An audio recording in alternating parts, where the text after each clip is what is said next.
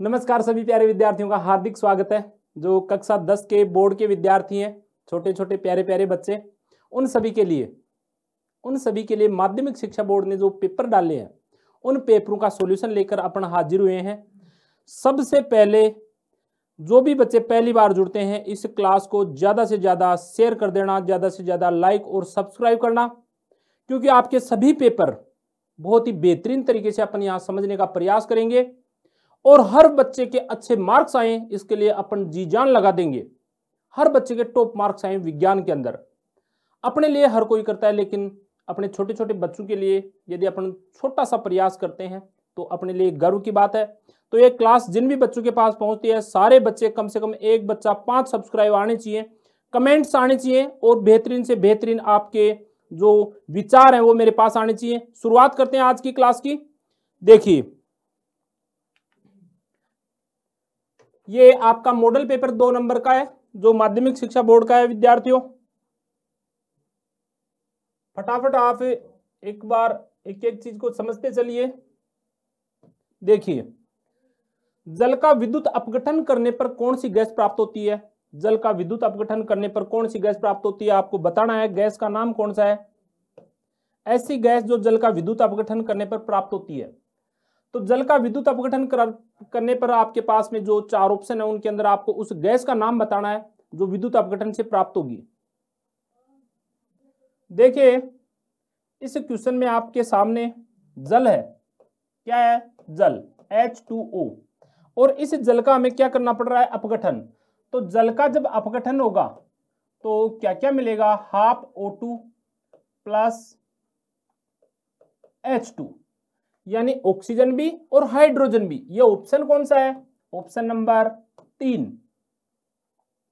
अगला क्वेश्चन देखिए, कठोर जल। यानी कठोर जल कौन सा होता है? वो जल जो आपके कपड़े धोने पर झाग नहीं देता, उसे कठोर जल कहते हैं। इसमें कठोरता का क्या है? कठोर जल को मृदु बनाने के लिए, इस जल को यदि आपको मृदु बनाना है तो क्या उपयोग लेंगे? क्या उपयोग लेंगे? ऑप्शन आपके सामने है। आप ऑप्शन देखकर बताइए क्या काम में लेंगे। जल्दी से बता दीजिए क्या काम में लेंगे। तो जल को यदि आपको क्या करना है, मृदु करना है तो इसके लिए क्या काम में लेंगे। Sodium carbonate. और सोडियम कार्बोनेट का सूत्र क्या है? N A two C O three Dhawan soda इसे कर देंगे अपन तो इसको क्या लगा देंगे? टेन एच टू ओ तो ये क्या हो जाएगा? ध्यावन सोडा। दस जल के अणु कार्बोनेट के साथ जोड़ दोगे तो इसका नाम ध्यावन सोडा हो जाएगा।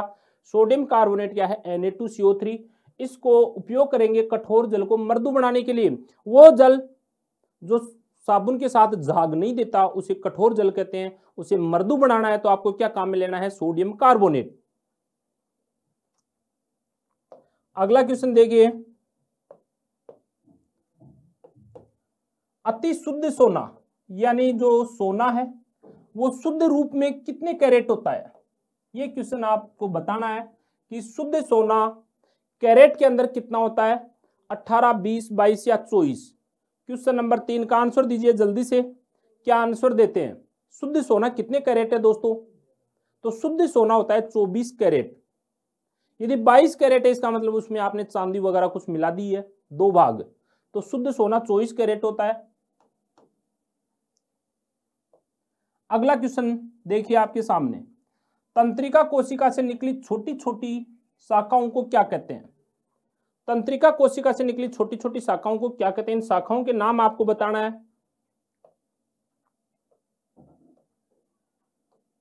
तंत्रिका कोशिका। तो तंत्रिका कोशिका क्या है? तंत्रिका तंत्र की संरचनात्मक और क्रियात्मक इकाई है। इस तंत्रिका कोशिका की हम बात करें तो इसके दो भाग हैं। एक तो शीर्ष भाग जिसे साइटोन कहते हैं और एक लंबा पतला भाग जिसे एक्जोन कहते हैं। शीर्ष भाग से शाखाएँ निकली रहती हैं। उन शाखाओं को क्या कहते हैं दोस्तों? डेंड्रोन। डेंड्रोन देख लीजिए। एक्जोन तो लंबा बेलनाकार भाग है। इसके नीचे का सिरा रेनवियर है, सिनेप्सिस है, डेंड्रोन। और डेंड्रोन की अंतिम सिरे क्या कहलाते हैं? डेंड्रोइड्स। ये सुपर इंपोर्टेंट क्वेश्चन है, एग्ज़ाम में बार बार आता है। जल्दी से आंसर दे दो। नेचुरल सिलेक्शन थ्योरी किसने दी? प्राकृतिक वर्णवाद किसने दिया? नेचुरल थ्योरी किसकी है? ऑप्शन आपके सामने। किसने दिया नेचुरल सिलेक्शन बताइए, ये प्राकृतिक वर्ण का सिद्धांत है और ये महत्वपूर्ण है। किसने दिया? जल्दी से आंसर दे दीजिए। तो प्राकृतिक वर्ण का मतलब क्या है दोस्तों? प्राकृतिक वर्ण का मतलब है कि जो प्रकृति है उस प्रकृति ने योग्य जीवों का क्या कर लिया है? सिलेक्शन कर लिया है। तो प्रकृति ने योग्य जीवों का सिलेक्शन कर लिया है तो उसे प्राकृतिक वर्ण कहते हैं। और ये बात किसने बताई थी? चार्ल्स डार्विन ने। चार्ल्स डार्विन फ्रांस का एक प्रकृतिवादी वैज्ञानिक है। इसने ब्रिटेन के लड़ाकू जहाज़ से यात्रा की थी 1831 या 1836 में। जिस द्वीप पे पहुँचा था, उस द्वीप का नाम क्या था? गैलोपेगोस द्वीप। और वहाँ जाकर इसने देखा कि एक चिड़िया मिली जिसको डार्विन फिंचेज नाम दिया। और सिद्धांत दिया प्राकृतिक वर्णवाद का सिद्धांत, यानी प्रकृति में जो प्राणी वातावरण के अनुसार होता है, संघर्ष में सफल होता है, उसका नेचर क्या करती है? सिलेक्शन सबसे पहले बच्चे पैदा हुए खूब सारे। टाबर टूबर पैदा हो गए, बच्चे पैदा हो गए खूब सारे। ये बात कौन कहता है? डार्विन फिर उनको खाने के लिए, पीने के लिए, रहने के लिए क्या करनी पड़ी? लड़ाई, संघर्ष।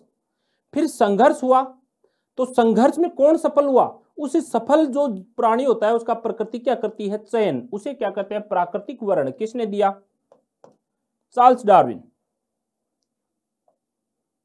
प्रकाश का वेग मैक्सिमम, लाइट की वेलोसिटी है वो मैक्सिमम किसमें होती है? लाइट की वेलोसिटी या प्रकाश का वेग मैक्सिमम किसमें होता है? जल्दी से आंसर दे दीजिए, प्रकाश का वेग सबसे ज़्यादा किसमें है? ये आपका माध्यमिक शिक्षा बोर्ड का पेपर है दोस्तों। और ऐसा पेपर जिसमें से आपके क्वेश्चन सीधे एग्ज़ाम में आएँगे, देख लेना आप। और ये छोटे क्वेश्चन तो पास होने का जुगाड़ है, सभी बच्चे आराम से पास होंगे। अट्ठारह नंबर का मैटर ऐसा है, जो छोटे प्रश्न है, और छोटे प्रश्नों को आप कितने ही पढ़ाई में कमज़ोर होंगे, लेकिन पास होने का जुगाड़ बहुत बढ़िया है। प्रकाश का वेग सर्वाधिक, जो इंटेलिजेंट बच्चे हैं उनके तो पूरे में से पूरे आएँगे, सौ में से सौ। प्रकाश का वेग सबसे ज़्यादा किसमें होता है? तो प्रकाश का वेग सबसे ज़्यादा किसमें होता है? निर्वात में। निर्वात में प्रकाश का वेग सबसे ज़्यादा है। कैस कितना है? देख लीजिए। निर्वात में प्रकाश का वेग तीन गुणा दस की पावर आठ मीटर प्रति सेकंड है। निर्वात में प्रकाश का वेग कितना है? तीन गुणा दस की पावर आठ मीटर प्रति सेकंड। ओके। पुष्प के स्त्री केसर के मध्य भाग को क्या कहते हैं? जल्दी से आंसर दीजिए। पुष्प के मध्य भाग। स्त्री केसर यानी फीमेल ऑर्गन है। आंसर दीजिए फटाफट आप।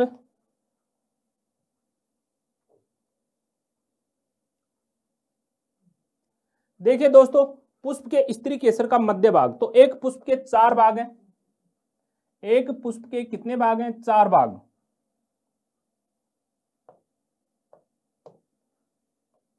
मध्य का जो भाग है उस भाग को स्त्री केसर कहते हैं।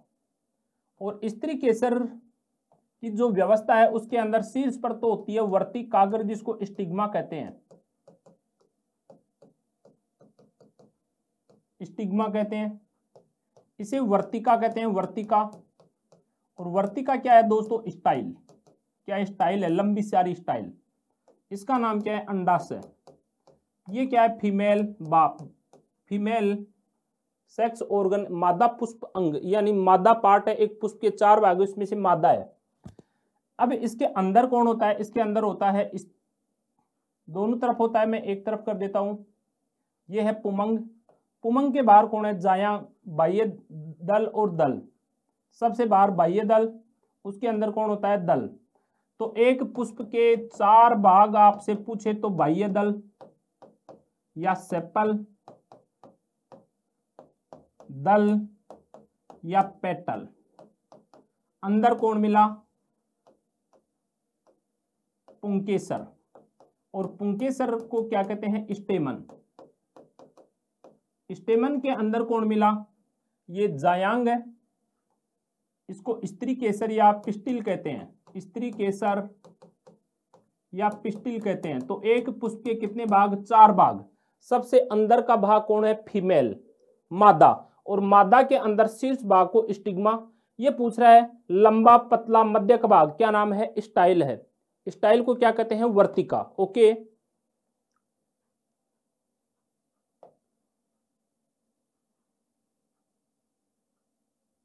डायग्राम थोड़ा सा अच्छा बने तो ज़्यादा अच्छा रहता है ना? देखो। ये हो गया दल। दल के बाहर कौन होगा? बाह्य दल। बाह्य दल का काम क्या है? सुरक्षा। तो एक पुष्प के चार भाग, एक पुष्प के कितने भाग? चार भाग। बाह्य दल का काम क्या है? सुरक्षा देना। पुष्प को सुरक्षा कौन देगा? बाह्य दल देगा। बाह्य दल के अंदर कौन होगा? दल। दल क्या होता है? आकर्षक। जैसे गुलाब का फूल है, उसमें आकर्षक भाग कौन है दल। दल के अंदर कौन मिलेगा? नर। नर को क्या कहते हैं? पुंकेसर। पुंकेसर के अंदर कौन मिलेगा? मादा। मादा के कितने भाग? तीन। वर्तिकाग्र, वर्तिका और अंडा से। तो आंसर दे दीजिए आप। पुष्प का मध्य भाग, यानी मध्य भाग क्या है? वर्तिका। प्रकाश के दृश्य स्पेक्ट्रम में वर्णों की संख्या कितनी होती है? पाँच, छह, सात या एक। पता है आपको? दृश्य प्रकाश के अंदर सात रंग होते हैं, और सात रंगों का यदि आपको नाम पूछे तो आपको क्या बताना है? विबग्योर वी से वोयलेट आई से indigo B for blue G for green Y for yellow O for orange और आर फॉर रेड सात रंग। तो कितने रंग हो गए? सात रंग दृश्य प्रकाश के। इस क्वेश्चन का आप आंसर दे दीजिए फटाफट विभांतर को मापने वाले यंत्र को क्या कहते हैं? जल्दी से आंसर दे दीजिए अच्छा प्रश्न है। और क्लास को लाइक कर दीजिए दोस्तों लाइक कर दीजिए क्लास को। बड़े ही अच्छे तरीके से हम चीज़ों को समझने का प्रयास करेंगे। जैसे ही क्लास आपके पास पहुँचती है, लाइक करना नहीं भूलें, नए विद्यार्थी सब्सक्राइब करना नहीं भूलें और शेयर कीजिए। इतना फैला दीजिए कि ज़्यादा से ज़्यादा बच्चों को फ़ायदा मिले, क्योंकि ये क्लास अपन गवर्नमेंट स्कूल वाले ऐसे बच्चे जिनको पर्याप्त सुविधाएँ नहीं मिलती और जिनको अच्छी शिक्षा मिले, उनके लिए एक छोटा सा प्रयास है। इस प्रयास को आपको आगे से आगे बढ़ाना है। विभांतर को मापने वाले यंत्र को क्या कहते हैं? क्या आंसर दोगे दोस्तों? विभांतर को कौन नापेगा? Volt meter. और धारा पूछे तो एमीटर गैल्वेनोमीटर भी धारा नापता है, ये भी धारा नापता है। धारा नियंत्रक क्या करता है? प्रतिरोध का काम करता है। सौर स्थिरांक का मान लगभग कितना है? आंसर दे दीजिए। सौर स्थिरांक, सूर्य से जो धरती पर प्रकाश आता है ना, उसके लिए, उसके संदर्भ में है कि सौर स्थिरांक का मान कितना है? मान मान बता दीजिए फटाफट, कितना मान है दोस्तों? 1.5 1.6 1.4 या 1.7 कौन सा है? तो ये होता है 1.4 किलोमीटर वाट, फिर क्या है? किलोमीटर किलोमीटर वाट घंटा मीटर। ये सौर स्थिरांक है 1.4 होगा इसका। ये प्रश्न अति महत्वपूर्ण है। 100 परसेंट एग्ज़ाम में, जिन जिन क्वेश्चनों के मैं आईएमपी लगा रहा हूँ, समझ लेना, एग्ज़ाम में आने वाले प्रश्न है। और आप में से कुछ बच्चे ऐसे हैं जिनका बेसिक कमज़ोर है, वो पास होना चाहते हैं, उनके लिए वरदान है। कि वरदान का मतलब समझ गए, एक नंबर की ऐसी चीज़ें जिसमें आपको नोटाइबर नहीं है एबेसद है और पास हो जाओगे, कहीं नहीं रुकोगे। इंटेलिजेंट बच्चे के लिए हर प्रश्न इंपॉर्टेंट है।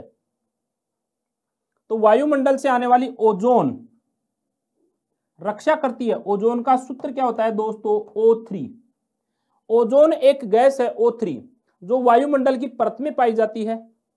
और ये सूर्य से आने वाली हानिकारक पराबैंगनी किरणों से हमारी सुरक्षा करती है। तो हानिकारक पराबैंगनी किरणों से क्या करेगी? सुरक्षा।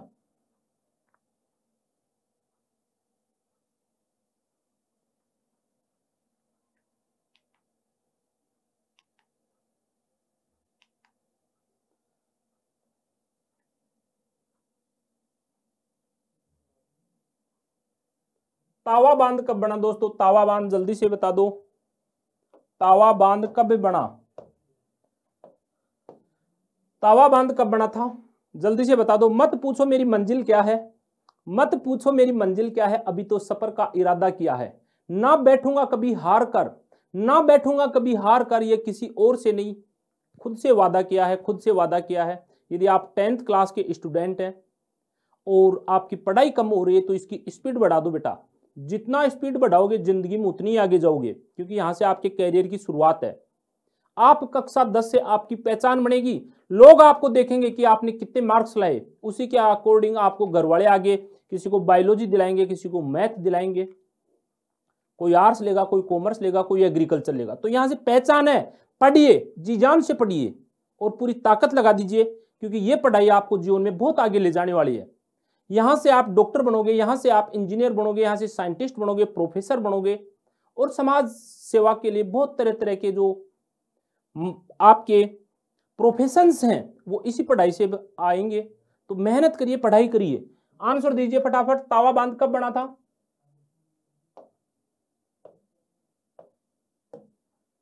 तावा बाँध बना दोस्तों 1970 में 1970 में। अब अगला देखिए रिक्त स्थान, ये भी छोटा प्रश्न है इंपोर्टेंट कार्बन परमाणु की ज्यामिति कैसी होती है दोस्तों? कार्बन परमाणु की ज्यामिति आपको बतानी है तो कार्बन परमाणु की ज्यामिति बता दो जल्दी से कैसी है। कार्बन कार्बन एक ऐसा तत्व है जो आवर्त सारणी में छह नंबर पर पाया जाता है, जिसका एटॉमिक मास या परमाणु क्रमांक छह होता है। बाहरी कोष में इलेक्ट्रॉन की संख्या पूछे अपने को तो कार्बन इंपोर्टेंट है, देख लीजिए। ये कार्बन है, इसका परमाणु क्रमांक छह है। इलेक्ट्रॉनिक विन्यास one S two two S two और टू पी टू। तो यहाँ बाहरी कोष में इलेक्ट्रॉन की संख्या कितनी है? चार। कार्बन के बाहरी कोष में इलेक्ट्रॉन कितने हैं? चार। कार्बन की संयोजकता कितनी होगी? संयोजकता भी होगी चार। अर्थात इससे चार परमाणु बंद बनाएँगे दूसरे। कोई भी मान लो ए बी सी डी ये चार अन्य तत्व होंगे जो बंद बनाएँगे। और ऐसी व्यवस्था क्या है दोस्तों? चतुष्फल की है तो आपसे पूछे चतुष्फल की व्यवस्था किसकी है? तो आपको क्या बताना है दोस्तों? कार्बन की। कार्बन का परमाणु क्रमांक छह कार्बन की बाहरी कोष में इलेक्ट्रॉन की संख्या कितनी है? चार है। कार्बन आवर्त सारणी का ऐसा तत्व है जिसमें श्रृंखला बनाने का गुण सबसे ज़्यादा है। तो कार्बन की व्यवस्था कैसी है? चतुष्फल की है। चतुष्फलकीय को क्या कहते हैं? टेट्रागोनल।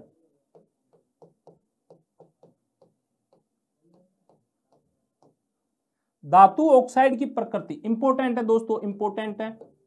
धातु ऑक्साइड की प्रकृति कैसी होती है? जल्दी से बता दो, जब कोई धातु ऑक्सीजन से क्रिया करती है तो धातु ऑक्साइड बनता है। धातु ऑक्सीजन से जुड़ रही है ऑक्सीजन एक ऋण विद्युती तत्व है। क्या देता है? धातु को इलेक्ट्रॉन देगा। और इलेक्ट्रॉन देने के कारण ये गुण क्या होगा? क्षार्य। तो धातु ऑक्साइड की प्रकृति क्षार्य होगी या अम्लीय होगी, जल्दी से बता दीजिए एक बार। कि धातु ऑक्साइड की प्रकृति कैसी होगी? क्षार्य होगी। क्यों होगी दोस्तों? क्योंकि इलेक्ट्रॉन देता है ऑक्सीजन क्षार्य को क्या कहते हैं? एल्के लाइन यदि कोई एमजी के बच्चे हैं, महात्मा गांधी के, उनके लिए भी मैं इंग्लिश वर्ड काम में ले रहा हूँ। आराम से समझ में आ सकता है। एल्के लाइन का मतलब है क्षार्य। ये इंपॉर्टेंट है दोस्तों, रुधिर दाबने वाले यंत्र का नाम। जल्दी से बता दो। कि आपकी जो बीपी है, जो रुधिर नापने का काम है, वो कौन करेगा? तो रुधिर दाबी यंत्र का नाम आपको जल्दी से बताना है। रुधिर दाबी यंत्र कौन है? कौन है दोस्तों? स्फेगमोमीटर। स्फेगमोमीटर से क्या नापते हैं? रुधिर दाब। तो रुधिर दाब को नापने के लिए स्फेगमोमीटर रुधिर दाब को मापने के लिए क्या चाहिए? स्फेगमोमीटर। लेकिन धड़कन मापने के लिए यह भी ध्यान रखना, धड़कन। आपको धड़कन नापनी है किसी की तो स्टेथोस्कोप चाहिए दोस्तों। रुधिर की मात्रा हमारे शरीर में कितनी होती है? पाँच से छह लीटर। रुधिर का रंग कितना होता है? लाल। क्यों होता है? हीमोग्लोबिन के कारण, जिसको एचबी कहते हैं। आंसर दीजिए हार्मोन की क्रिया को, कौन सी क्रिया विधि द्वारा क्या करते हैं? नियंत्रित करते हैं। हार्मोन की क्रिया को किस विधि द्वारा नियंत्रित करते हैं? आंसर दीजिए फटाफट, जल्दी से। तो दोस्तों, हार्मोन्स किससे निकलते हैं? अंतःस्रावी ग्रंथियों से। अंतःस्रावी ग्रंथियाँ हमारे शरीर की वे ग्रंथियाँ हैं जो नलिका वीन होती है और अपने उत्पाद को सीधा रुधिर में डालती हैं। तो अपने उत्पाद को सीधा रुधिर में डालेंगे अंतःस्रावी ग्रंथि। और अंतस्रावी ग्रंथि से हार्मोन निकलेगा और इसकी क्रियाविधि किसके द्वारा नियंत्रित होगी? तो क्रियाविधि नियंत्रित होगी दोस्तों किसके द्वारा? पुनर्भरण के द्वारा। पुनर्भरण। विद्युत आवेश के प्रवाह की दर को क्या कहते हैं? इंपोर्टेंट क्वेश्चन है, आवेश के प्रवाह की दर को क्या कहते हैं? जल्दी से आंसर दे दो। आवेश के प्रवाह की दर को क्या कहते हैं दोस्तों? आवेश के प्रवाह की दर का जल्दी से आंसर दे दो फटाफट। आवेश प्रवाह की दर क्या है? धारा, विद्युत धारा।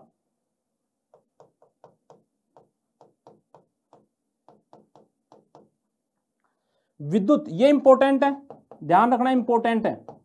फ्यूज फ्यूज तार।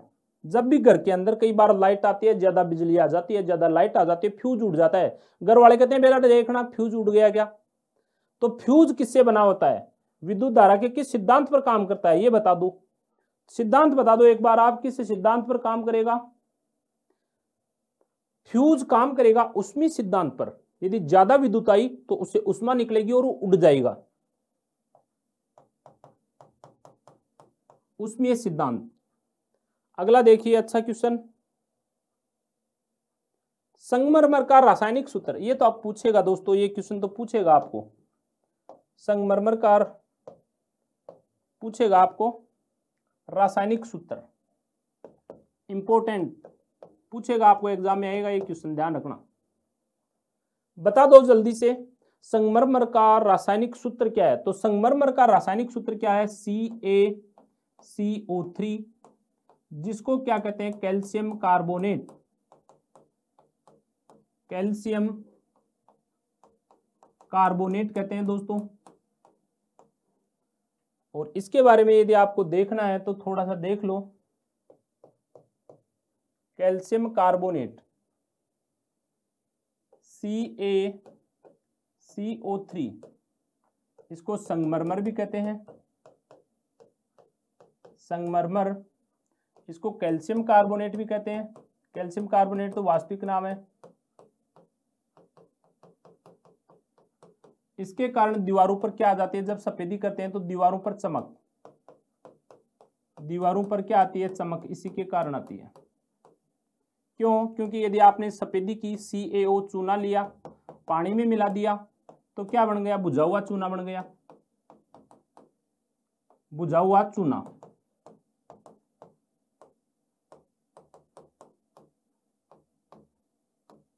बुझा हुआ चूना। इस बुझे हुए चूने ने कार्बन डाइऑक्साइड से क्रिया कर ली। सी ए ओ एच टू ने किससे? कार्बन डाइऑक्साइड से। तो क्या बन गया? सी ए सी ओ थ्री और क्या बन गया? जल। इसके कारण क्या आती है? दीवारों पर चमक। ये पहले ही पाठ में है। आपका जो पहला पाठ है उसी में है। आपने क्या लिया? बिना बुझा हुआ चूना, जिसको क्या कहते हैं? Calcium oxide. इसको पानी में डाल दिया। पानी में डालने से आपके पास कैल्शियम हाइड्रोक्साइड बना। जिसको बुझा हुआ चूना कहते हैं। ये बुझे चूने की आपने सफेदी कर दी आपकी दीवार पर। सफेदी करोगे दीवार पर तो कार्बन डाइऑक्साइड से चूना क्रिया करेगा बुझा हुआ और क्या बनाएगा? C S C O three जिसे दीवार पर क्या आ जाती है? चमक आ जाती है। महत्वपूर्ण क्वेश्चन है।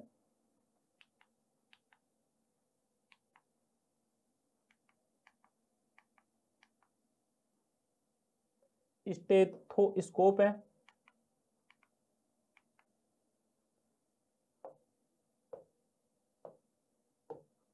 मिल्क ऑफ़ मैग्नीशिया का पीएच कितना है?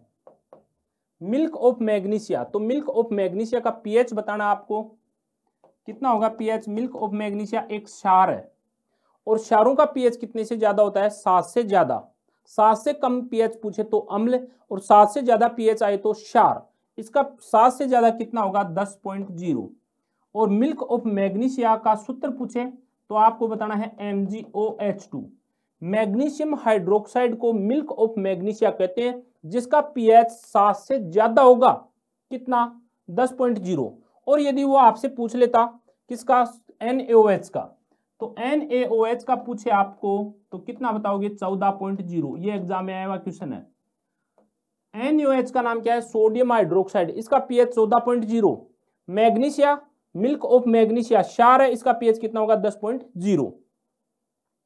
सोल्डर सोल्डर मिश्र धातु। ये इंपॉर्टेंट है दोस्तों।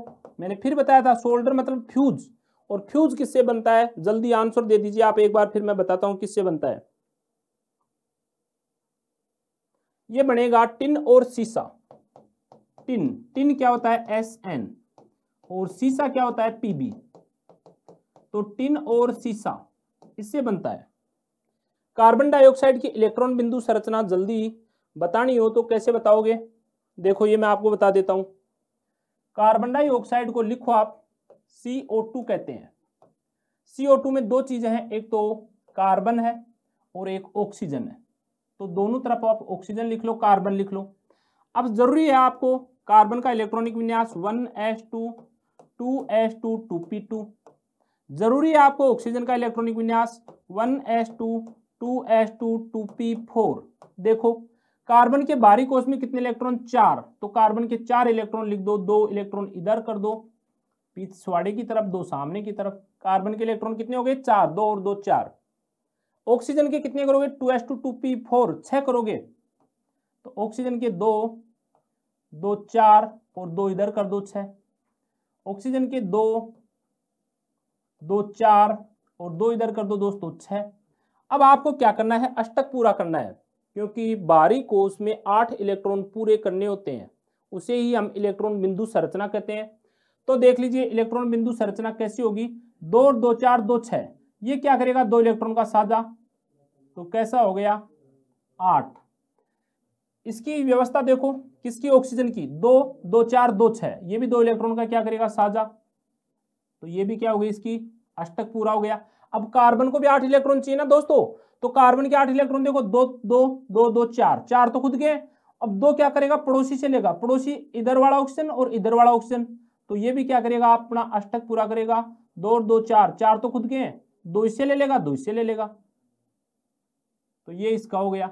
इस प्रकार आप देखोगे तो ये इलेक्ट्रॉन बिंदु संरचना हो गई, जिसमें कार्बन के भी आठ इलेक्ट्रॉन ऑक्सीजन के भी आठ इलेक्ट्रॉन या आप इसको ऐसे दिखाओगे तो ज़्यादा अच्छी बात है। ये इलेक्ट्रॉन बिंदु संरचना है। नहीं दिखाओगे तो आप ऐसे भी दिखा सकते हो कि कार्बन के पास दो है ना, दिखा दे देना, आप तो कोई दिक्कत नहीं है। इलेक्ट्रॉन बिंदु संरचना का मतलब है इलेक्ट्रॉन को दर्शाने का क्रम। और कौन से इलेक्ट्रॉन को दर्शाओगे? बारी के इलेक्ट्रॉन, उसके लिए क्या चाहिए? इलेक्ट्रॉनिक विन्यास। ये तो आपको आता होगा, इलेक्ट्रॉनिक विन्यास। इलेक्ट्रॉनिक विन्यास उस तत्व में पाए जाने वाले इलेक्ट्रॉन की व्यवस्था है। चार इलेक्ट्रॉन कार्बन के और छह इलेक्ट्रॉन ऑक्सीजन के, और जिस चित्र से दिखाते हैं वो क्या है? इलेक्ट्रॉन बिंदु संरचना। डोबरनिय ने किस तत्व की पहचान उत्प्रेरक के रूप में की? जल्दी आंसर दे दो। डोबरनिय ने किस तत्व की पहचान उत्प्रेरक के रूप में की थी? तो किस तत्व की की थी? क्वेश्चन नंबर पाँच।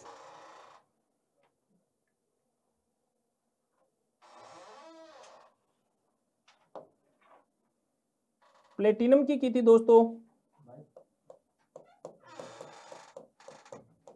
Platinum PT. कोशिका विभाजन अच्छा प्रश्न है इंपॉर्टेंट क्वेश्चन है। पादपों में भी हमारी तरह हार्मोन बनते हैं प्लांट में भी हमारी तरह हार्मोन बनते हैं, और जो पादपों में हार्मोन है, उसमें से एक हार्मोन कोशिका विभाजन को प्रेरित करेगा। तो आप क्या आंसर दे देंगे? जल्दी से बता दो। आंसर बता दो फटाफट, देखिए।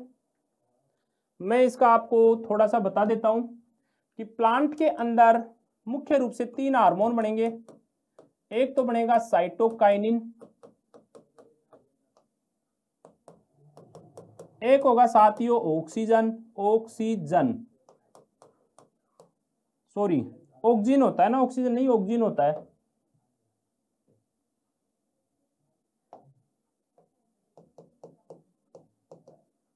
ऑक्सीजन और जिब्रेलिन। अब इसमें पूछा है, कोशिका विभाजन को कौन बढ़ाता है? तो कोशिका का मतलब साइट सेल। सेल का मतलब साइटो, साइटोकाइनिन। ये क्या करता है? कोशिका विभाजन बढ़ाता है, सेल डिवीज़न को बढ़ाता है। कोशिका विभाजन बढ़ाता है। तो साइटोकाइनिन क्या करेगा दोस्तों? कोशिका विभाजन को बढ़ाएगा। ऑक्सीजन क्या करता है? शीर्ष वर्दी। पादप की कौन सी वर्दी? शीर्ष वृद्धि और ये क्या करेगा? लंबाई को बढ़ाएगा। जो छोटा पादप है ना, उसकी लंबाई बढ़ा देगा। ये आपको ध्यान रखना है। 101 परसेंट आपको यहाँ से क्वेश्चन मिल सकता है पूरी पूरी संभावना है। Super important. यहाँ से आपको बोर्ड में क्वेश्चन मिल सकता है। तो हार्मोन का नाम क्या है? साइटोकाइनिन। एड्स का पूरा नाम? एड्स का पूरा नाम सभी को करना है। एक्वाइड आई का क्या होगा? इम्यूनो एक्वाइड इम्यूनो डी का क्या होगा? Deficiency acquired immuno deficiency S का क्या होगा? Syndrome okay okay?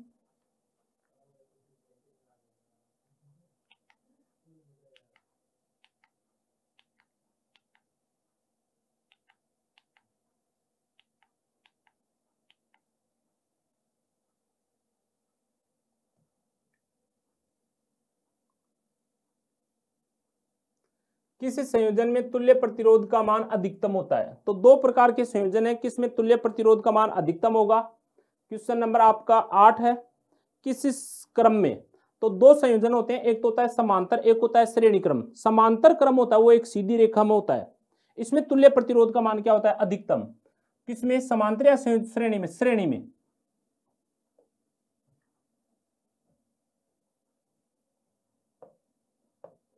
कौन सा होगा श्रेणी क्रम और श्रेणी क्रम में तुल्य प्रतिरोध कैसे होता है दोस्तों? आर बराबर R one plus R two plus R three इस क्रम में होता है ये संयोजन। बैटरी में चार्जर में कौन सी विद्युत धारा का प्रयोग होता है? क्वेश्चन नंबर नाइन का आंसर दे दो। बैटरी में कौन सी विद्युत धारा का उपयोग होता है? तो विद्युत धारा दो प्रकार की है। एक तो हमारे घरों में आती है, उसको तो कहते हैं प्रत्यावर्ती। और जो बैटरी में और जो भी आपके क्या है जो स्टोरेज यूनिट है, जिनसे हम क्या लेते हैं लाइट लेते हैं। जैसे आपके पास टॉर्च है बैटरी है, इनके अंदर जो धारा होती है, वो कौन सी धारा होती है? दिष्ट धारा। तो इस धारा को क्या कहते हैं? दिष्ट धारा। और दिष्ट धारा वो धारा है जिसका मान और दिशा समय के साथ समान रहती है, उसे दिष्ट धारा कहते हैं। विद्युत चुंबक में क्रोड सामान्यतः किसका बना होता है? विद्युत चुंबक है दोस्तों, इस विद्युत चुंबक में जो क्रोड है वो किसका बना होता है ये आपको बताना है। तो विद्युत चुंबक का क्रोड किसके, किसका बना होगा? कच्चे लोहे का। आंसर देते रहना आप साथ साथ और क्लास को लाइक और सब्सक्राइब करना, और दोस्तों शेयर भी करना। क्वेश्चन नंबर ग्यारह है, सौर सेलों को परस्पर संयोजित करने वाले पैनल में किस धातु का उपयोग होता है? क्वेश्चन नंबर ग्यारह, किस धातु का उपयोग होगा? किस धातु का उपयोग होगा दोस्तों? आंसर दे दीजिए सोलर सेलों में। संयोजित करने में सौर पैनल बनाने में किस धातु का उपयोग होगा? तो ये धातु कौन सी होगी? चांदी। चांदी को क्या कहते हैं? सिल्वर। सिल्वर या चांदी। इस धातु का उपयोग होगा। इसका प्रतीक क्या आता है दोस्तों? एजी तो सिल्वर का प्रतीक होता है एजी सिल्वर को चांदी भी कहते हैं। सोलर पैनल बनाने में इसका उपयोग किया जाता है। ये सुपर इंपोर्टेंट प्रश्न है। ऊर्जा पिरामिड की विशेषता। ये प्रश्न मैं आपको थोड़ा सा समझा देता हूँ। प्रकृति में पेड़ पौधे हैं। पेड़ पौधे क्या करते हैं? सूर्य की ऊर्जा को लेते हैं और क्या बनाते हैं? भोजन। और इन पेड़ पौधों को कौन खाते हैं? प्राणी। जो प्राणी खाते हैं, उन्हें क्या कहते हैं? उपभोक्ता। और उपभोक्ता अलग अलग प्रकार का होता है। जो सबसे पहले होता है वो प्राथमिक इसके बाद में होता है द्वितीयक और इसके बाद में होता है वो तृतीयक। अब यहाँ पेड़ पौधों में क्या आई? ऊर्जा। किससे आई? सूर्य से। और सूर्य से आई तो इन्होंने क्या किया? प्रकाश संश्लेषण से भोजन बना लिया। प्रकाश संश्लेषण से क्या बना लिया? भोजन बना लिया। अब यह ऊर्जा जाएगी। पेड़ पौधों से ऊर्जा जाएगी भोजन के रूप में किसमें? उपभोक्ता में। उपभोक्ता पहली बार प्राथमिक, दूसरी बार द्वितीय और तीसरी बार तृतीय और कितनी प्रतिशत जाएगी मित्रों? दस प्रतिशत जाएगी। दस प्रतिशत जाएगी। नष्ट कितनी होगी? नब्बे परसेंट नब्बे परसेंट क्या होगी? नष्ट। एक स्तर से दूसरे स्तर पर जाने में। तो ऊर्जा में क्या आएगी? कमी। और कमी आएगी तो इसका एक पिरामिड बनेगा, जो कैसा होगा? सीधा। ये फिक्स क्वेश्चन है। ऊर्जा पिरामिड होगा सीधा। क्यों? एक स्तर से दूसरे स्तर पर जाते हैं तो ऊर्जा में कमी आती है। मान लीजिए यहाँ आपके पेड़ पौधे थे। पेड़ पौधों को हमने प्राथमिक स्तर दे दिया पी कह दिया पी फिर कौन आए? कंज्यूमर आए, जिनको कह दिया सी वन फिर कंज्यूमर आया जिसको कह दिया सी टू फिर कंज्यूमर आया जिसको कह दिया सी थ्री तो पहले ऊर्जा मान लीजिए आपके पास कितनी थी? एक हज़ार थी। फिर अगले स्तर में कितनी पहुँची? सौ। फिर अगले स्तर में कितनी पहुँची? दस। और अगले में कितनी पहुँची दोस्तों? एक। इस प्रकार ऊर्जा एक स्तर से दूसरे स्तर पर जाती है तो कम होती है और ऐसे पिरामिड कैसे होते हैं? सीधे।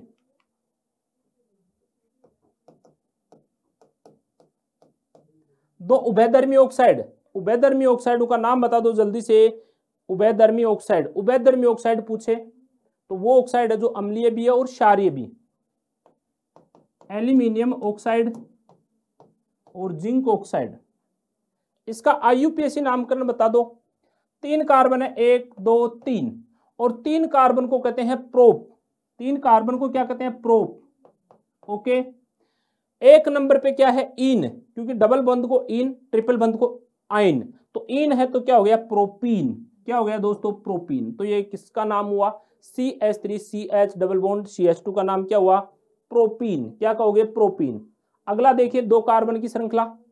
दो कार्बन को क्या कहते हैं? एथ क्या कहते हैं दोस्तों? एथ एक और दो। एल्डिहाइड जुड़ा हुआ है। एल्डिहाइड के लिए क्या काम में लेंगे? एल एथ प्लस एल तो क्या हो गया? एथेनेल तो ये क्या हो गया दोस्तों? एथेनेल या यूपीएससी नामकरण है।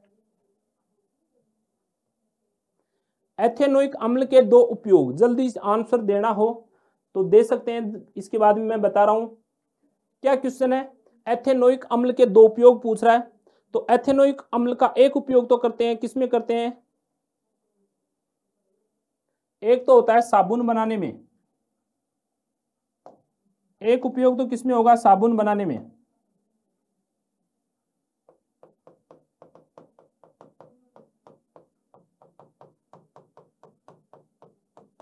और एक क्या होगा? एस्ट्रीकरण में। अब आप आंसर दे सकते हैं अगले क्वेश्चन का। मैंडलिप ने आवर्त सारणी में कुछ स्थान रिक्त क्यों छोड़े थे? आंसर दे सकते हैं।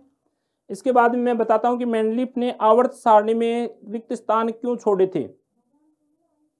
तो मैंडलिप ने आवर्त सारणी में क्यों रिक्त स्थान छोड़े थे?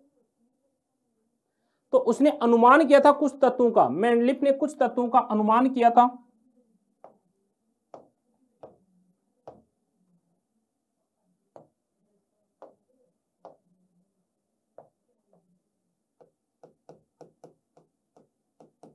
मैंडलिप ने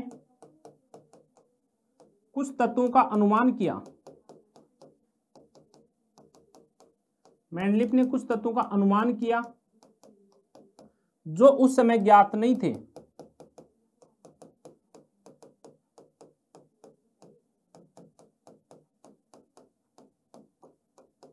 इसलिए उनके लिए, उन तत्वों के लिए क्या छोड़ा रिक्त स्थान?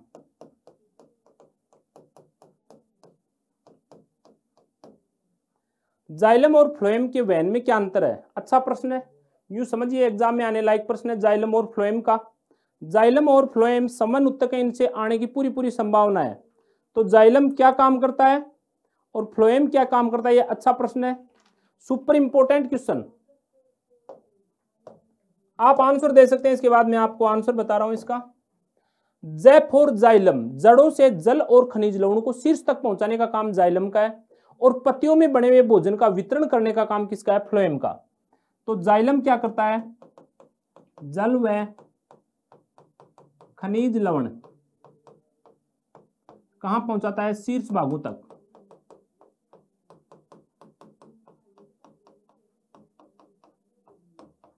जल व खनिज लवण शीर्ष भागों तक पहुंचाता है। और फ्लोएम क्या काम करता है? फ्लोएम पत्तियों से बने भोजन का वितरण। पत्तियों से बने भोजन का वितरण। सभी भागों में करता है। जनन किसे कहते हैं? अच्छा प्रश्न आप बता सकते हैं, इसके बाद में बताऊँगा। किसे कहते हैं जनन? जल्दी बता दो। देखिए, जनन की परिभाषा जल्दी बता दो। जनन का मतलब क्या है? आप बता दो, फिर मैं बता रहा हूँ, जनन का मतलब क्या है? तो जीव द्वारा अपने समान संतान उत्पन्न करना जीव के द्वारा अपने समान प्रजननशील, ये ज़रूर लिखना दोस्तों, ये ज़रूर लिखना। जीवों के द्वारा अपने समान प्रजननशील ज़रूर लिखना। बच्चे पैदा करना, संतान पैदा करना।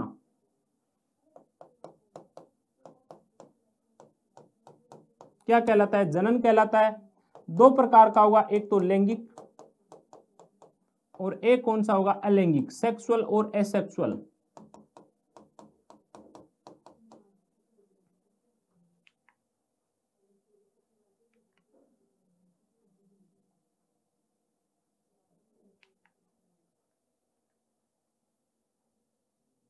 अमीबा में द्विविखंडन का चित्र बनाना है, या बना देना।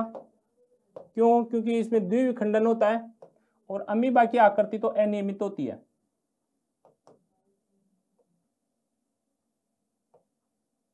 यहाँ से टूटेगा। कितने अमीबा बन गए? दो अमीबा बन गए। जैसा आपका पेन चल जाए, वैसा ही अमीबा बन जाएगा। ओके? क्योंकि अमीबा की आकृति अनियमित है। क्वेश्चन नंबर ग्यारह का आंसर दे दो। लेंस की फोकस दूरी किस पर निर्भर करती है? लेंस की फोकस दूरी किन कारकों पर निर्भर करती है?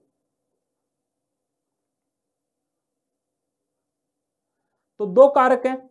एक तो लेंस का जो पदार्थ है, उसकी प्रकृति, यानी लेंस किस पदार्थ पर बना है? तो लेंस किस पदार्थ पर बना है? लेंस के पदार्थ के अपवर्तनांक पर। लेंस के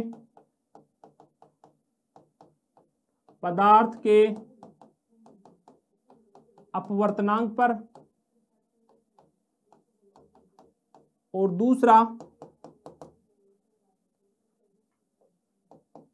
लेंस के जो वक्र पृष्ठ है, उस वक्र पृष्ठ की त्रिज्या कौन कौन सी? आर वन व आर टू पर। दो ओम, तीन ओम और छह ओम के प्रतिरोध जुड़े हुए हैं तो क्या पूछ रहा है इनका? समांतर क्रम पूछ रहा है, समांतर क्रम। समांतर क्रम आते क्या करोगे दोस्तों?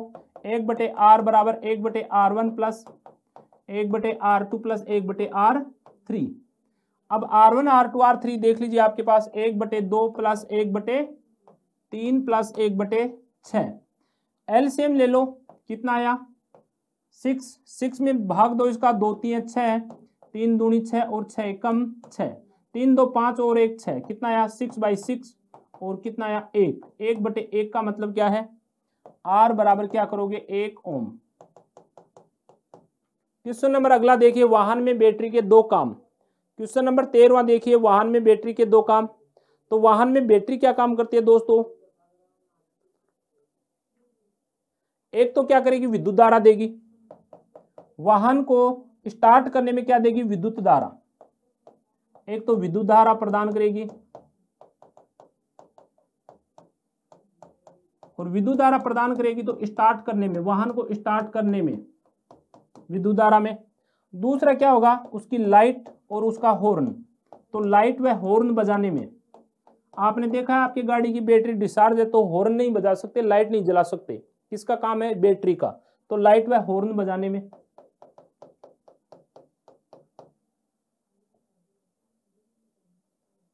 विद्युत धारा के दो स्रोत। दिष्ट धारा के दो स्रोत बता दो क्वेश्चन नंबर चौदह। दिष्ट धारा के दो स्रोत। दिष्ट धारा वो धारा है जो आपके किसमें पाई जाती है? बैटरी में। तो एक तो बैटरी लिख दो और एक सेल तो दिष्ट धारा के दो स्रोत क्या लिखोगे?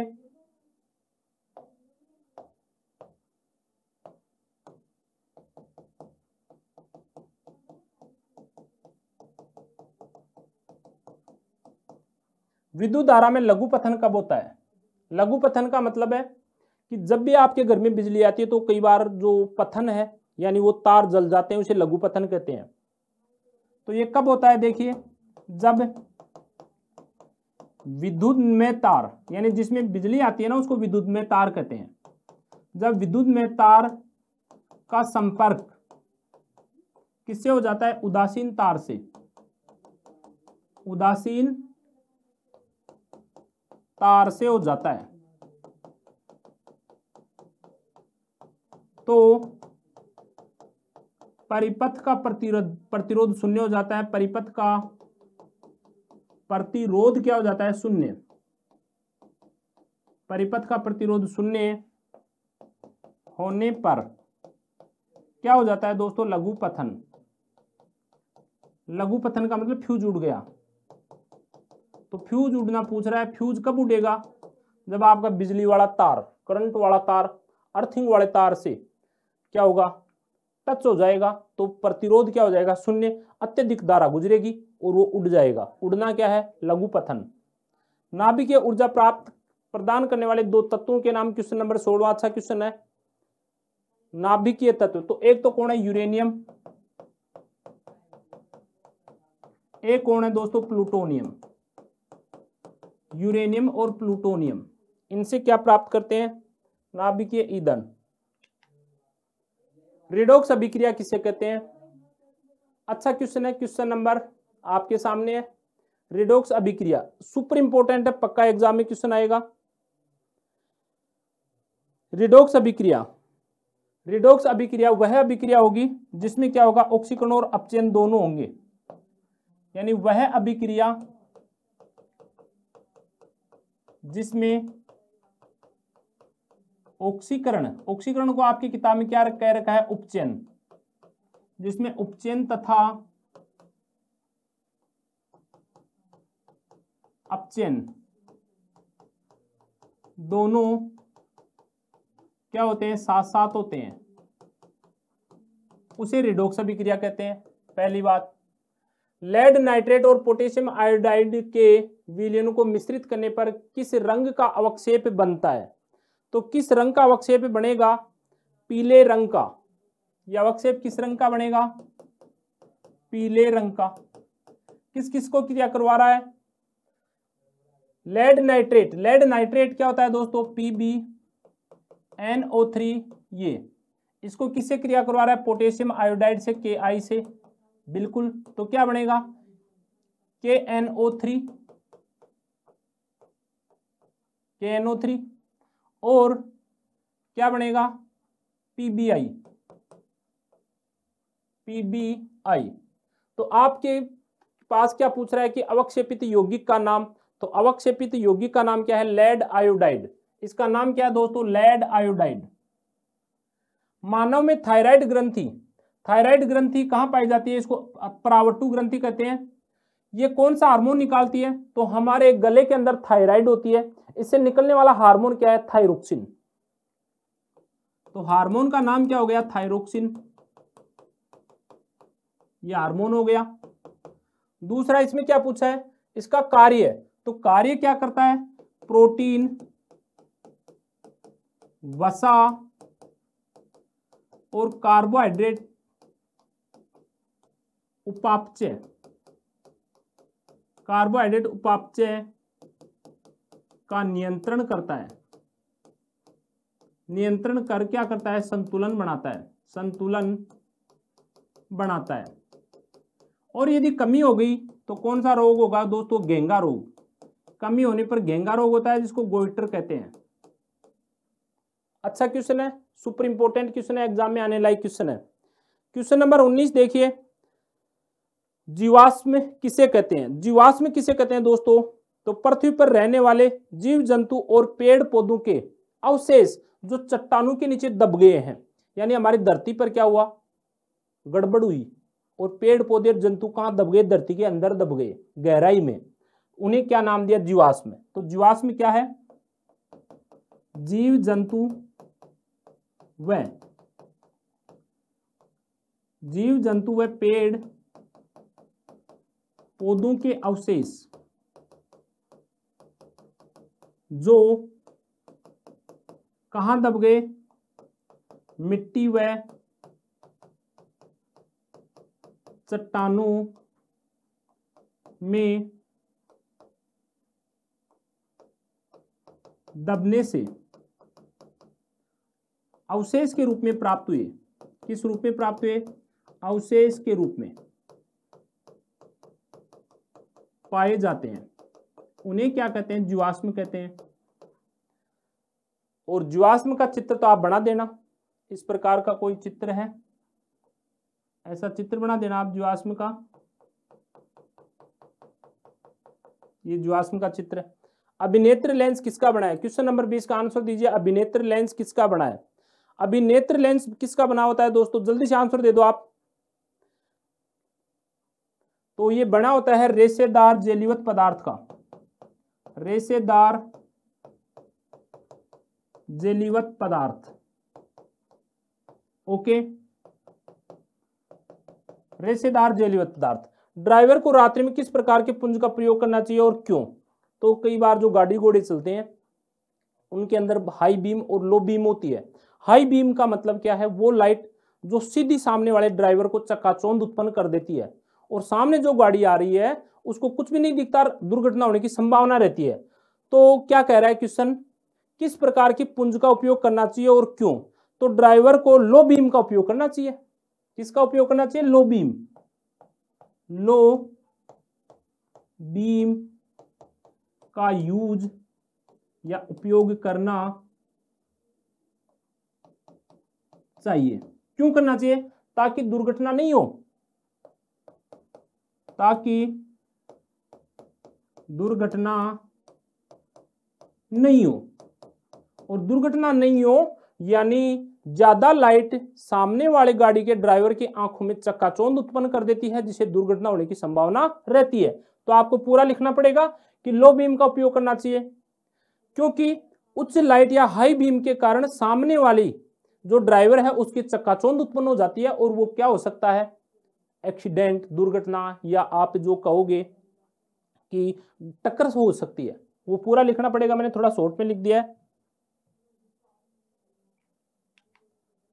अगला क्वेश्चन देखिए, दो अम्लीय ऑक्साइड और एंटा एसिड क्वेश्चन नंबर 21 का आंसर दे दो। दो अम्लीय ऑक्साइड दो अम्लीय ऑक्साइडों के नाम और अम्लीय वर्षा। यानी अम्लीय वर्षा होती है, उनके कारण उनके नाम बताने हैं। तो अम्लीय वर्षा किससे हो सकती है? अच्छा प्रश्न है। सभी बच्चे जो क्लास देखेंगे या देख रहे हैं, वो ज़्यादा से ज़्यादा लाइक करें, अपने कमेंट भी करें। कितना समझ में आया, कितना फ़ायदा हुआ। क्योंकि आपके कमेंट में खुद पढ़ूँगा और आपको अच्छा लगेगा तो आगे के सॉल्यूशन भी मेरे द्वारा डाले जाएँगे। किसी प्रकार की कोई टेंशन नहीं है। लाइफ में आगे बढ़ो, जीवन में आगे बढ़ो, पढ़ाई करो, अच्छी मेहनत करो। तो दो ऑक्साइड जिनसे अम्लीय वर्षा होती है, एक ऑक्साइड तो क्या लिख देना? एच टू एसओ फोर और एक क्या लिख देना? एच थ्री ठीक है? एच सी एल भी हो सकता है। Antacid antacid antacid क्या होता है? जो अम्लीयता को दूर करता है। जो अम्लीयता दूर करता है। उसे क्या कहते हैं? एंटा एसिड उदाहरण पूछे तो उदाहरण क्या है इसका? एम क्या नाम है इसका? मैग्नीशिया। और दूसरा उदाहरण पूछे तो क्या कहोगे? M G O H two जिसका नाम क्या लिखोगे? Milk of magnesia. अगली क्लास का टाइम हो रहा है मेरा, इसलिए थोड़ा सा जल्दी करना पड़ेगा। स्वपोषी पौधे किसे कहते हैं? पत्ती का अनुप्रस्थ काट। वे पौधे जो अपना भोजन खुद बनाते हैं।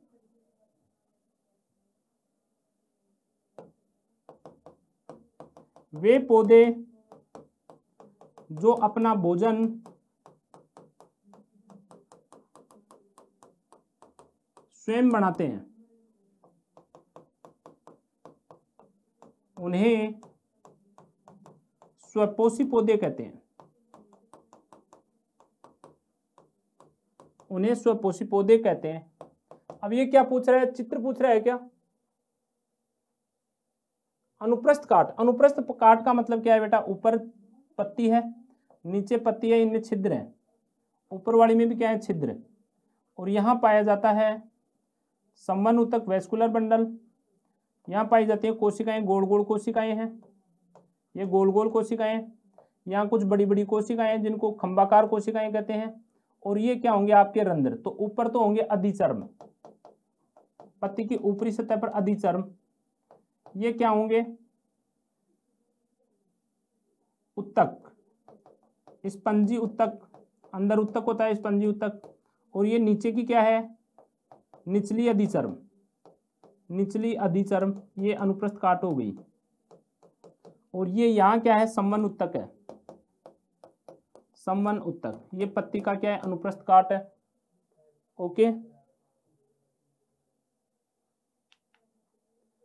अगला देखिए। उत्तर लेंस द्वारा बनने वाले प्रतिबिंब का किरण चित्र किसके द्वारा? उत्तर लेंस के द्वारा बना दो। अथवा वाला नहीं कर रहा, समय कम है। अथवा वाला नहीं कर रहा मैं, क्योंकि समय का अभाव है। उत्तल लेंस के द्वारा बने प्रतिबिंब का चित्र बनाओ। यस, बना देना उत्तर लेंस। ये उत्तल लेंस हो गया। ये इसकी बीचों बीच की अक्ष हो गई।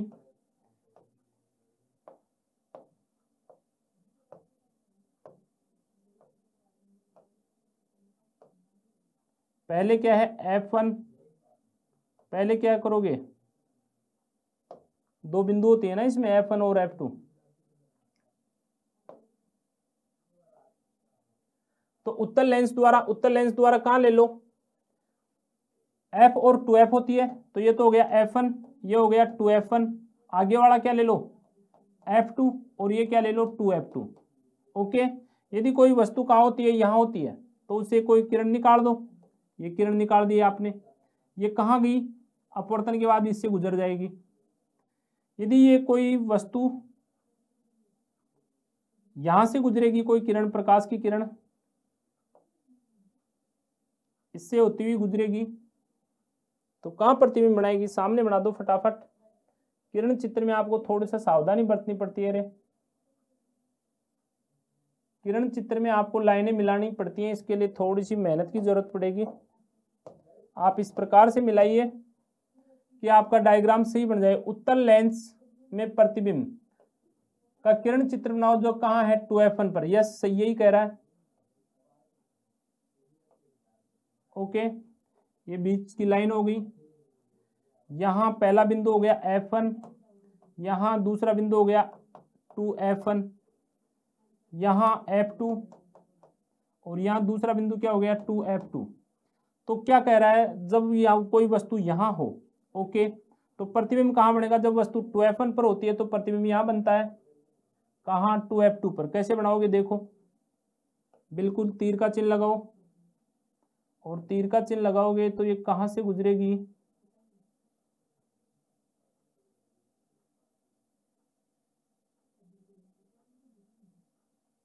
इसको गुजारो दोस्तों।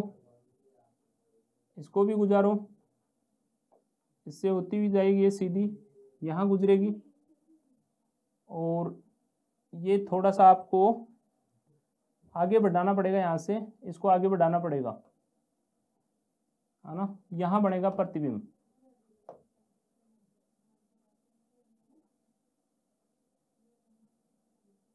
ओके? इसमें थोड़ा सा ध्यान रखना पड़ता है। आपको किरण मिलानी होती है और काटना पड़ता है। तो यहाँ से प्रकाश की किरण गई। ये प्रकाश की किरण गई और ये यहाँ काट रही है। कहाँ काट रही है? टू एफ़ टू पर। ये क्या है? ये बिंदु एफ़ वन है। तो इधर से यहाँ काटेगी, ये वाली जा रही है, यहाँ से जा रही है, सीधी जाएगी। कहाँ काटेगी? एफ़ टू पर। प्रकाश की किरण कैसी जा रही है? सीधी जाकर। तो प्रतिबिंब कहाँ बना? जब वस्तु टू एफ़ वन पर होती है। वस्तु कहाँ होती है? टू एफ़ वन पर। तो जब वस्तु टू एफ़ वन पर होती है तो प्रतिबिंब कहाँ बनता है? टू एफ़ टू पर। ओके? अब क्या करें? उत्तर लेंस और अवतर लेंस में अंतर बता दो। तो उत्तर लेंस और अवतर लेंस के अंतर पूछे तो अंतर हम कैसे बताएँगे?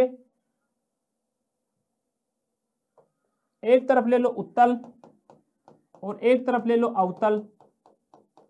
उत्तल लेंस क्या करता है? आपतित किरणों को पास में लाता है। ये उत्तल लेंस है, आपतित किरणों को पास में लाता है। तो इसे क्या कहते हैं? अभिसारी। उत्तल लेंस क्या करता है? अभिसारी। और अवतल लेंस फैलाता है तो ये क्या होता है? अपसारी। अवतल लेंस क्या होता है? अपसारी। उत्तर लेंस का उपयोग किसमें करेंगे? नेत्र दोष में। इसका भी किसमें करेंगे? नेत्र दोष में। तो नेत्र दोष दो दोष हैं। एक तो होता है निकट दृष्टि दोष और एक होता है दूर दृष्टि दोष। निकट दृष्टि दोष और दूर दृष्टि दोष के हिसाब से यदि आपको पूछे तो निकट दृष्टि दोष में किसका उपयोग करेंगे? तो निकट दृष्टि दोष के अंदर किसका उपयोग करेंगे साथियों? निकट दृष्टि दोष में आप करेंगे अवतल लेंस का उपयोग, और उत्तर लेंस का उपयोग किसी में करेंगे? दूर दृष्टि दोष में। तो इसका उपयोग करते हैं दूर दृष्टि दोष के निवारण में। दूरदृष्टि दोष निवारण में। इसका उपयोग किसमें करेंगे? निकट दृष्टि दोष निवारण में उपयोग करेंगे। ओके? दो अंतर लिख दो फटाफट, क्या दिक्कत है? निकट दृष्टि दोष कौन सा दोष है? जो निकट की वस्तु तो स्पष्ट दिखाता है, लेकिन दूर की नहीं दिखाता। तो दूर की वस्तु नहीं दिखा रहा तो आपको कौन सा लेंस चाहिए? दूर की वस्तु दिखा। निकट निकट दृष्टि दोष का मतलब क्या है? कि निकट की वस्तु दिखाई देती है, दूर की वस्तु दिखाई नहीं देती।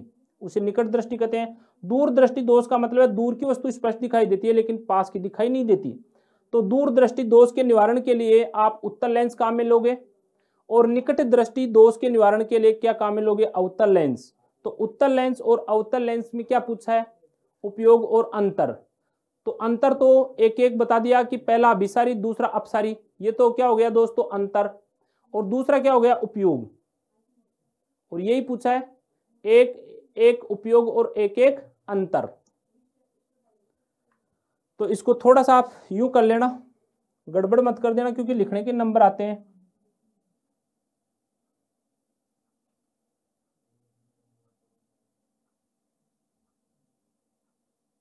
लिखने के भी नंबर आते हैं दोस्तों, जल्दीबाजी नहीं करनी, बिल्कुल भी। जैसा प्रश्न पूछ रहा है, वैसा ही आपको करना है।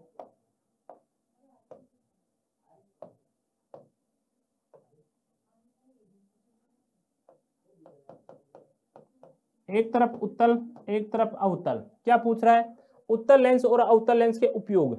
उपयोग पूछे तो पहला लिखो उपयोग। दोनों का एक एक उपयोग।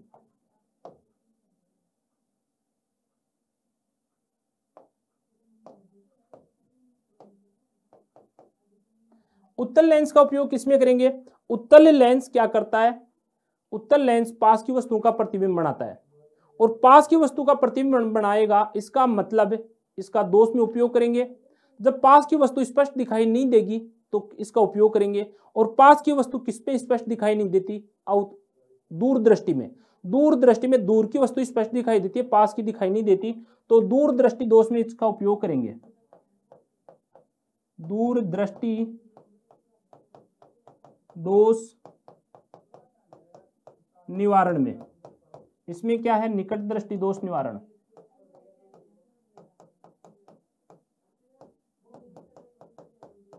यह हो गया, क्या हो गया? उपयोग। ठीक है? अब क्या हो गया? अंतर। अंतर भी बता दो।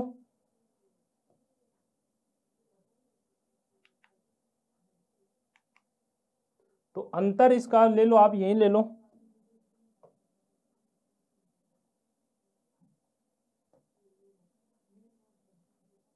यही अंतर ले लो।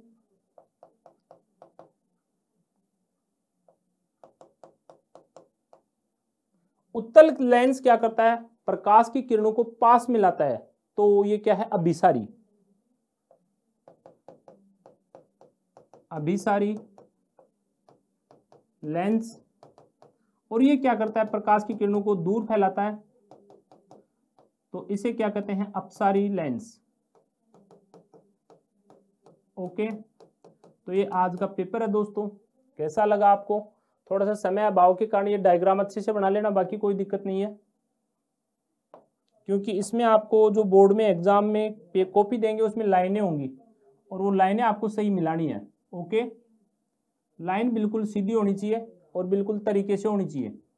ठीक है, यहाँ प्रतिबिंब बनेगा। ये प्रतिबिंब कैसा बनता है? वास्तविक बनता है, इसमें नहीं पूछा, लेकिन पूछ ले तो आपको क्या बताना है? वास्तविक, उल्टा और वस्तु के बराबर। इसमें इस क्वेश्चन में नहीं पूछा। यदि वो पूछ ले कि जब वस्तु टू एफ़ वन पर हो तो प्रतिबिंब कैसा बनेगा? ऐसा पूछ ले तो क्या बताना है? वास्तविक, उल्टा और वस्तु के बराबर। और आपको जो महत्वपूर्ण चीज़ें हैं, वो दर्पण वाले में क्या ध्यान रखनी है? एक तो लेंस और दर्पण में स्थिति। एक क्या आंसर देना है? प्रकृति, स्थिति, प्रकृति और आकार। इन तीन बिंदुओं के अंदर आपको आंसर देना है। जब भी क्वेश्चन कोई आता है, स्थिति, प्रकृति और आकार। तो जैसे हमारे पास ये लेंस था, ये लेंस, ये उत्तर लेंस है। उत्तर लेंस का ये प्रतिबिंब कैसा है? वास्तविक उल्टा। तो आपको क्या बताना है? देखिए। स्थिति स्थिति कहाँ बन रही है इसकी? जब वस्तु टू एफ़ वन पर होती है तो प्रतिबिंब कहाँ बन रहा है? टू एफ़ टू पर। ओके? प्रकृति कैसी बन रही है? वास्तविक। और वास्तविक हमेशा कैसा होता है? उल्टा। आकार कहाँ, कैसा बन रहा है? वस्तु के बराबर। वस्तु के बराबर। ऐसे आंसर देना है आपको। ज़्यादा इसके अंदर किसी भी प्रकार से फालतू चीज़ें नहीं लिखनी। स्थिति कहाँ टू एफ़ टू पर। तो इसको भी आपको लिखने की ज़रूरत नहीं है। इसको लिखने की ज़रूरत नहीं है। यहाँ डायरेक्ट क्या लिखोगे? टू एफ़ टू पर बनता है। ओके दोस्तों क्लास में लेट हो गए। आज का पेपर कैसा लगा आपको? क्लास पसंद आती है तो लाइक करें शेयर करें। और ज़्यादा से ज़्यादा दोस्तों के पास पहुंचाएँ ये माध्यमिक शिक्षा बोर्ड का पेपर है। आज हमने हल किया है। अगला पेपर फिर लेकर आएँगे। लाइक कीजिए कमेंट्स कीजिए शेयर कीजिए। और आप घर बैठे अच्छी तैयारी कीजिए। मिलेंगे अगली क्लास में। जय हिंद जय भारत।